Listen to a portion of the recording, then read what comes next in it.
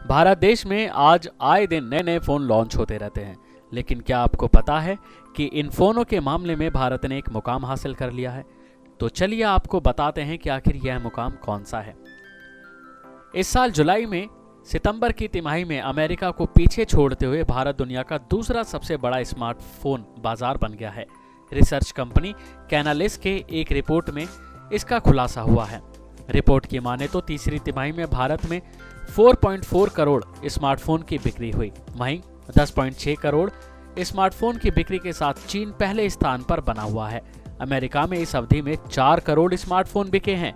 तो वहीं इस रिपोर्ट में जुलाई सितंबर 2018 के दौरान दुनिया भर में सालाना आधार पर स्मार्टफ़ोन की बिक्री में 7.2 प्रतिशत की गिरावट देखी गई।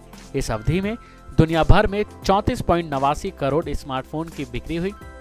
कंपनी की रिपोर्ट में देखें तो यह लगातार चौथा साल है जब स्मार्टफ़ोन की बिक्री में कमी आई है। वहीं सितंबर महीने में फेस्टिव सीज़न के दौरान भारत में स्मार्टफ़ोन की जमकर बिक्री हुई, जिसकी बदौलत भारत ने ये मुकाम हासिल किया है। नेक्स्ट टाइम टेक के लिए राशिद अली की रिपोर्ट।